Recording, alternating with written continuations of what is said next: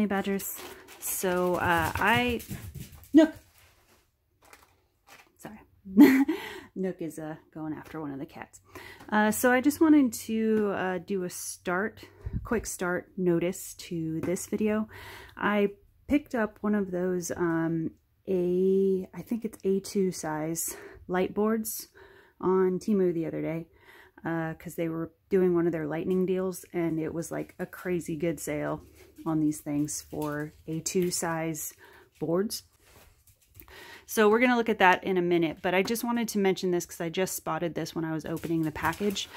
There, uh, I had some smaller stuff that uh, I ordered at the same time, and when I opened it up, I just thought I would show anybody that um, may order one of these how it might show up at your house, just so you're prepared.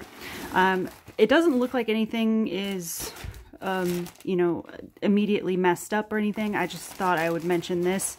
Uh, it looks like it comes double bagged on the inside. So this is your outside bag and then they put another one in here and then the light board is in this and the smaller stuff to my order which will probably be in a different video uh, is down at the bottom there so there was efforts to you know show that this was thought out as far as packaging. The thing I wanted to mention though is I just noticed this. Uh, so I don't know if that was from the factory like that or if it was, uh, uh, you know, through the um, postal service, customs, whatever. But uh, it looks like it was a box cutter cut or something that not only got through this one, but also got through the interior bag as well. Uh, and I, like I mentioned, the smaller stuff in my order is down in that second bag. And when I first opened this order up, a couple of the smaller things were stuck to the top of this package. So I haven't completely gone through this yet, so I don't know if anything is missing just yet, but I thought I would just mention that real quick for anybody that orders one of these. Just be careful when it shows up at your house. Um, check your package really thoroughly just in case something this, like this happens and you might have missed something in your order if it had fallen out. Uh, I don't know that any I've lost anything in my package yet. I just thought I would point that out real quick uh, just so you have a heads up. Okay, now on to looking at the light board. Originally, I was just going to make this a uh, unboxing for this, my uh, new A3 light board I just got, but now that I'm thinking about it, I figured why not expand this a little bit and do sort of an overview collection talk about all the light boards I have, which are collectively just three. but if you're new to diamond painting and you're thinking about getting into light boards and you're not sure which size you might need, or if you just want to see um, the light quality, the size, how it works with your canvases and all of that, um, this might be helpful to you. But to start, I figured I would just go ahead and do the unboxing of the A3 first. Um, oop, I forgot I was going to bring some canvases in here to show the light quality. Give me just a second, I'll grab some canvases. Okay, grabbed a couple whips to show on the boards in a second because we gonna light them up. okay, so uh, I just bought this A3 from Temu recently. Uh, I think they had it on a lightning deal for like 30 bucks or something, maybe less than that, which is crazy for an A3 board. So out of curiosity, I thought I would pick one up and see how it does. Uh, so this is the uh, the interior box it comes in. Um, if you saw the beginning of this video, well, if you saw, of course you saw the beginning of this video. At the beginning of this video, I showed you the two interior bags that were on top of this. So this is the white box that was inside that protects all of that. So kind of like a pizza box. Uh, it comes with their instructions in various languages. Let's see what else. You have your USB power cord. And then you just have your light board in here, which um, I'm just noticing, which I'm not really surprised, but if you're buying this just so you have a heads up um, and you're not surprised by not having all the parts, uh, if you want to plug this into a wall outlet, you're going to need one of, whoop, there we go, in frame. you're going to need one of these. Uh, and these are readily available in pretty much any store or, uh, you know, online. Just look up a USB adapter, wall adapter, and you should find one pretty cheap. So yeah, you can need one of these. I have these like all over my house, so I think Um, I think when I bought my A2, which I'll show in a second. Oh, no.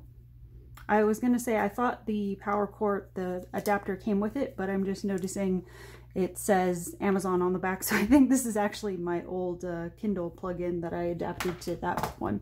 So yeah, if you want to use it on a wall outlet, you're going to need one of those power uh, adapters because it doesn't look like this comes with it. It just comes with your standard USB power cord.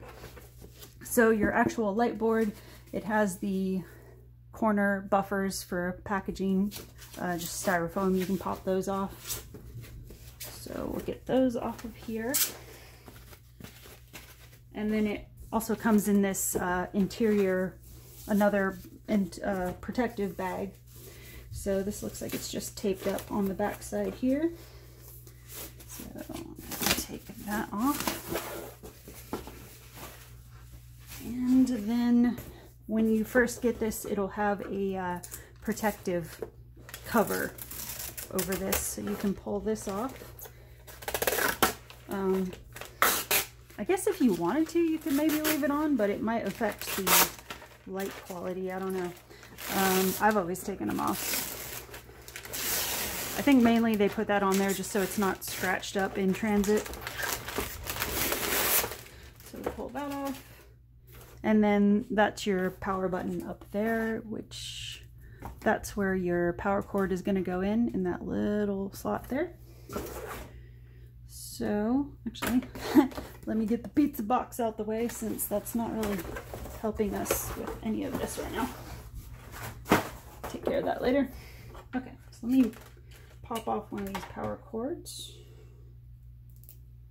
and see how this looks. Okay, so actually before I do that, so that's what your uh, A3 size is going to look like. Uh, with light pads like this, um, the lower the number, when you see like, uh, like I'll show you here, the lower the number, the uh, higher, the bigger your board is going to be. So this is a, I believe this is an A4, if I remember right. This is the very first light pad I got back in 2020 when I first started diamond painting. Uh, I got this off of an eBay special for like 10 bucks, I think. Uh, that's what I've done with all of my light boards is I just wait until I find a place that has them on special and then I'll pick up one uh, when it gets to a price that I'm cool with. So yeah, this is my A4. So the, uh, the lower the number after A, the bigger your board is going to be. So this is my upgrade from my A4, which I bought in 2022, I think. I don't use a light board for everything, so these are just kind of handy to have. Um, there's plenty of canvases I, I work with where I don't use light board at all, but they're just nice to have uh, if, if I need one. Uh, so this is the A3 size. And this will, I've worked on up to 40 by 50s with this. I mean, really with light boards, you can, they work with any size. I mean, if you get, I've seen plenty of diamond painters, if you get like an A4, you can move it around in little corner sections. If you're only doing, you know, a section at a time, you just stick this under the section you're working on and it'll light up that. Other diamond painters, they like the whole canvas lit up when they're working. It just, I guess, depends on what your budget and your preference is. Um, me, I typically try to match, if I am going to use a light board, I try to match, it's just a personal preference of mine, I try to match the size of the light board with the canvas I'm working on. So typically I won't use the tiny ones for anything really bigger than a 30 by 40. Um, but this is also one, I have like a little travel binder that uh, if I'm going somewhere uh, traveling and I want to take a kit with me, a smaller kit, I have this packed away in that little binder um, so that it's ready to go. Um, but yeah, I've, when I first started out, that's kind of what I did with, with this little one is I just moved it section to section over canvases because I do have larger canvases, but because they take longer, um, I tend to work through my smaller canvases more readily or more quickly. Uh, so this, I'll show you what all these look like lit up in a second. So this is my A uh, A3 that I bought in, I believe it was 2022. And the power button is over on the, the side here. And this one, uh, you can, I've done it both ways. You can um, put it either horizontally or uh, vertically and you can just clip the canvas get you know get one of the like I use the little um, like potato chip bag clippers sometimes and I'll just clip the canvas that way. Just make sure you don't put it on the power button. And you can get uh I don't really use them but you can get covers for the power button area so you don't accidentally turn them on uh, regularly I, I haven't picked mine up just, or I haven't picked any up for my boards just because I don't use my boards often enough that I think about it, but it is something that I keep thinking, yeah, I should get that just in case. But yeah, those are also pretty easy to find if you just look for like power board, light board cover, power covers. I don't know what they'd be under, but they're all over the place if you just uh, look up like power button covers. Uh, so you can do that. And then this is the, the new one, the A2. I'm gonna keep my numbers straight. So yeah, at some point I will, I really want to splurge and get the A1, um, but that's like, that's like what, uh, one step under like a tattoo shop light board table. Uh, I need, I would need the space for that. So uh, I may wait on the A1 a little while. Also, typically when I see the A1s, the lowest I've seen them for, um, at least to get a good one and not like a cheap scammy one. uh, typically the, the A1s I've seen, they tend to run somewhere about 60, 70 bucks even on sale as far as I've seen. So yeah, that's definitely like a splurge thing. Uh, so yeah, let's light these up and show you what they look like uh, with a canvas on top of them. So let me, um, Let's start with the, the little one, the A4. So this is my current whip. I don't know if that's gonna, it should show up on camera. Well, actually, let me show you what it looks like off camera. Just a picture of a Jesus in uh, the garden praying. Um, so this is the, the littlest one, the A4. And it had, just like the other ones, it has different light modes. So if you want it low, moderate, or super high, depending on what your light needs are. And you just set it on top of that and basically work on whichever square you're working on. And like I said, you can do this with any size canvas. It's just a preference of mine to sort of, like I said, match the canvas with the size of the board, but you don't have to do that. You could take, you know, even if you were working on a say a like 50 by 70 or something, you could still use one of these little ones and just move it to the section uh, you're currently working on if that's easier for you as far as like um, you know saving space or if you're on a budget or you know whatever like I said whatever your needs are. So that's what the A4 looks like and then you just tap it again to turn it off but that's what the lighting is on that one. So then I might just be able to, I have all different power cords for all of these, but actually I was just thinking I might just be able to use the same cord on all of these since they're all kind of in the same size, power cord wise, I think. Okay, so this is the uh, A3. And like I said, you can do it landscape or horizontal. Uh, do I have it over here? Let me check. Typically when I'm using this one, I have this little painter's easel. This is just a cheap aluminum one I found again on eBay. I think it was like 10 bucks. It's typically used for actual artist canvas, but I found that it works just fine to hold my uh, light board if I want to work at it from a, you know, sit sitting up position, standing position. Because uh, sometimes, depending on where I'm sitting, what my workspace looks like, sometimes it's a little bit easier to have it propped up. So I just got one of these canvas holders and uh, I'll do, and this one you can, it's a little bit tricky, but you can adjust how far back it sits. So I'll just sit it like that and then also it's handy because it has this sort of tail thing on the side. So when I want to put the light board um, vertical, it helps hold it that way too. So then yeah, I will just, you know, clip the, like I said, the potato chip clips, I'll just put them on the side there usually or at the top to hold my canvas still. So that is one option I just thought I would mention. Oops, I am caught up here. Or you could just lay it flat on the table, you know, whatever your working station looks like. So yeah, this is the A3. And again, uh, three different light settings. So that's your low, that's your medium, and that's your high. Okay, and I haven't tried the new A2 yet, so let's fire that one up and see what that one looks like.